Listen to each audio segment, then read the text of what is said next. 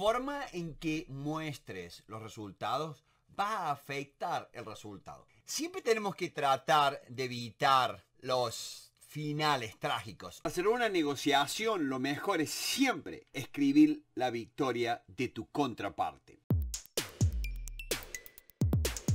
En toda negociación hay un momento en que vos tenés que mostrar, vos tenés que explicar cuáles van a ser los resultados de trabajar con vos. ¿Cuál va a ser el resultado de que tu héroe, de que la contraparte, de que si él te busca a vos para solucionar ese problema, ahí va a estar. Ahí va a estar en que vos le muestres cuál va a ser ese resultado. La forma de mostrarlo, eso va a afectar. Y veamos dónde están en, un proceso de negociación. Siempre seguí el proceso. No mires o no busques, no te focalices únicamente en el resultado, porque el resultado te va a dar ansiedad. Estoy llegando, no estoy llegando, eso te va a llegar. Focalízate en el proceso y te muestro. Este es el proceso de negociación. Lo ves acá bien, bien claro. Vemos acá que tenés la parte de resultados. Entonces, ¿qué es lo que pasa acá? En este momento, los resultados es algo que la persona va a comparar.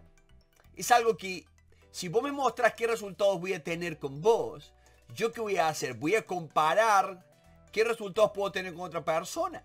Nunca temas negociar. En mi libro, yo te pongo algo que es muy bueno. ¿Cuáles son las mejores estrategias?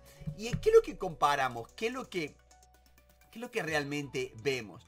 Es como, es como en todo en la vida tu mente compara. Vos te casaste con una persona, pero antes de casarte comparaste. Tú te pusiste novio con esa persona y comparaste. Ella también o él también. Todos hacemos eso. Siempre nuestra mente está comparando. Entonces, en este punto, ayúdalo a tu contraparte. Porque todo, todo, todo, todo es relativo.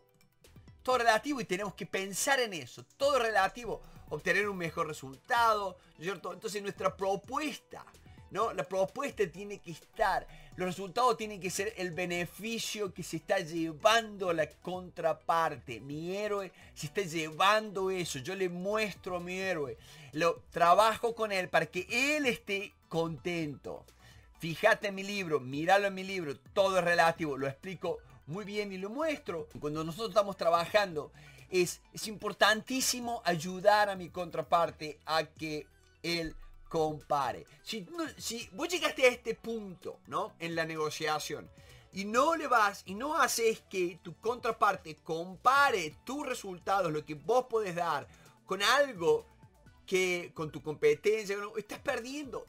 Estás perdiendo. Lo mejor que puedes hacer, vos fíjate lógicamente, si yo te ayudo a vos que compares con un competidor mío y yo te explico por qué yo soy mejor, ¿a quién se beneficia? Mucha gente dice, no, yo no, no, no nombres a un competidor, no. Mucha gente tiene miedo. Al contrario, si la contraparte, la persona que vos estás tratando de convencer, que estás influenciando, que estás persuadiendo, si tiene la libertad de poder elegir, de poder darse cuenta, eso te va a beneficiar. Por favor, no te olvides, nunca temas negociar. Está el link acá abajo, ¿no? Busca el libro, si no lo tienes, búscalo en Amazon. Nunca temas negociar de Pablo Linswan. Y te vas a dar cuenta, estos secretos te van a ayudar a que cuando llegue el momento de cerrar una negociación, es ahí donde vos querés estar. Es ahí donde nosotros queremos este, empezar a mostrarle a la contraparte que se sienta cómodo en compararme. Esto es justamente ese momento en que cerramos o no cerramos, no prolonguemos tanto la negociación. Necesitamos llegar a un acuerdo. Algo es trágico que ambos hayamos perdido tiempo. Hay muchos negociadores que utilizan, ¿cierto? Que, están, que te hacen invertir tiempo, invertir tiempo, y seguís y seguís y seguís, porque después, cuando tenés que volver a la oficina, tenés que decir que algo hiciste. No, no va a decir, no, no, perdí dos horas y no hicimos ningún arreglo. Tengo que ir a invertir otras dos horas con otra empresa. Entonces como que eso nos da miedo. Entonces, eh, no nos olvidemos nunca de eso. Tratamos de evitar y cómo utilizar eso. Hay más detalles.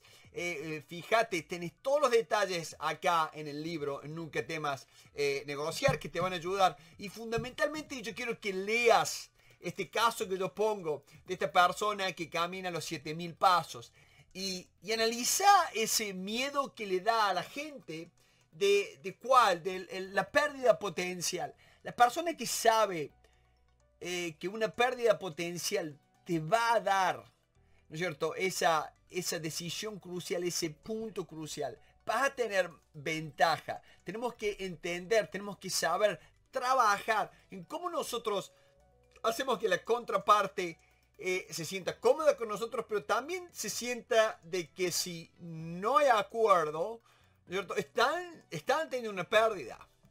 ¿no? Y, yo sé que muchos negociadores no lo usan, pero yo empecé a estudiar ¿no el método de Harvard, empecé a estudiar con muchos mucho Yale, este, Wharton. Empecé a estudiar, empecé a analizar todo, empecé a estudiar casos políticos y, estos grandes negociadores, ¿qué es lo que hacen? Ellos saben tocar la pérdida potencial del otro, saben que es como una, una táctica. Entonces quiero que, que la tengas bien presente esa táctica, ¿cierto? Cómo, cómo presentamos la información, mala información, cómo comunicamos el dolor. Por eso te invito a que si has leído el capítulo este, lo leas de nuevo, lo reveas. Esto tiene muchísimo valor, te va a ayudar muchísimo este libro.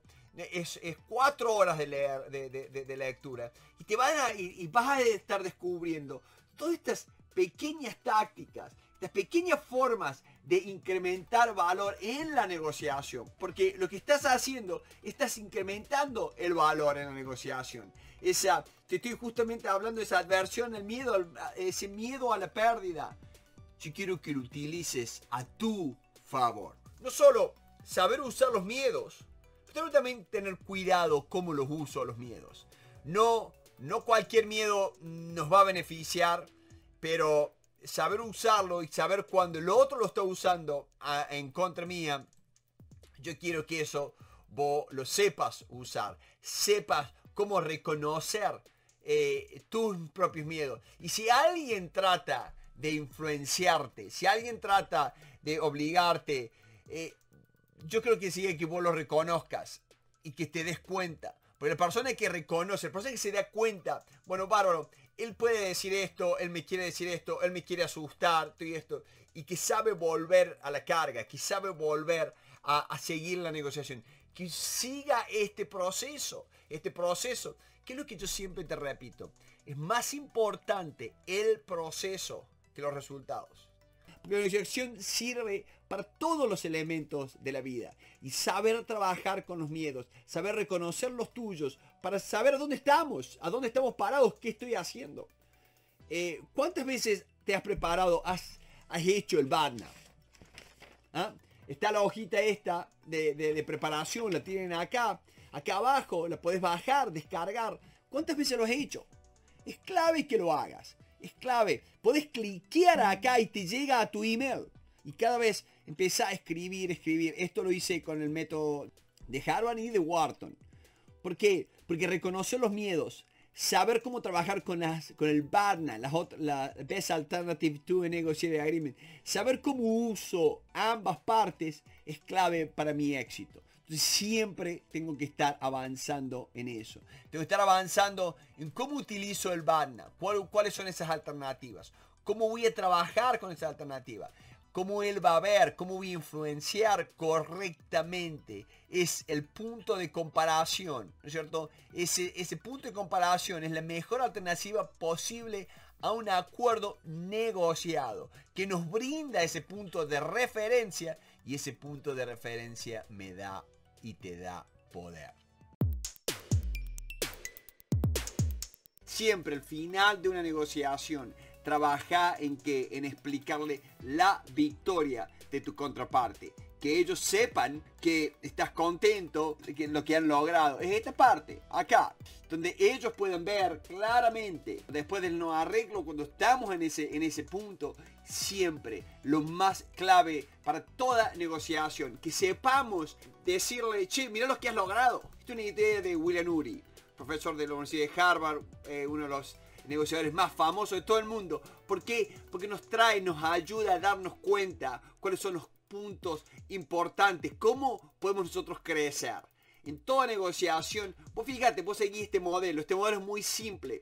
¿Por qué hemos seguido una estructura? Porque en toda negociación hay cosas que nos sacan del balance. Hay peleas, hay discusiones, hay gritos, hay, la mayoría hay algo que hay algo que por algún motivo nos sacó. Cuando vos tenés una estructura y te sacan de foco, volvés. Es mucho más fácil volver. Cuando no tenés una estructura, cuando no sabes dónde estás, qué estás haciendo, entonces ahí sí se complica. Porque una persona que sabe negociar, yo lo voy a escribir la victoria de él, voy a pensar, voy a estudiar, voy a analizar. Y él va a valorar los puntos que yo le digo. Va a valorar eso. ¿Por qué? Porque él lo toma y lo lleva y se lo comenta a su mujer, a su marido, a su jefe, a su socio, a, a su comunidad, a quien sea. Esos puntos son los puntos valiosísimos en toda negociación. Entonces siempre tenemos que trabajar en base a eso. Una frase que me encanta de Napoleón. La victoria tiene 100 padres, pero la derrota es huérfana.